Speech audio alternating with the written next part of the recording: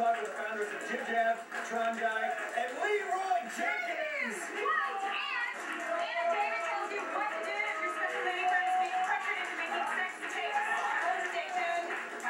Listen, it's just a simple sex tape. It's really not It's a...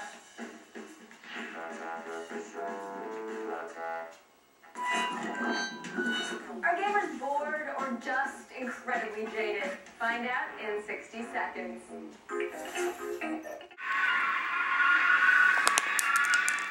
Steakhouse, please. The Steakhouse, new from Burger King. Premium Angus beef. It's the burger you can't wait for.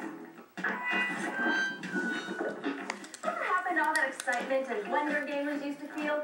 E3 and TGS were both kind of a letdown with no big WoW announcements or WoW games. Now, there's only two parties we could blame for this. Us, the gamers, or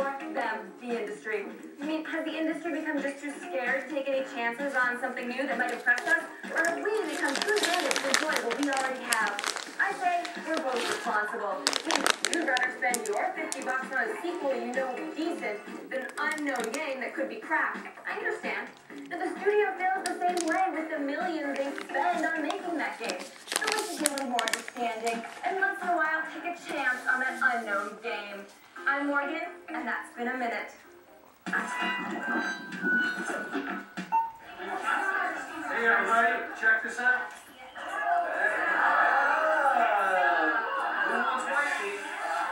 Tradition meets innovation. Remarkable in-bed trunk on the Ridgeline, built by Honda.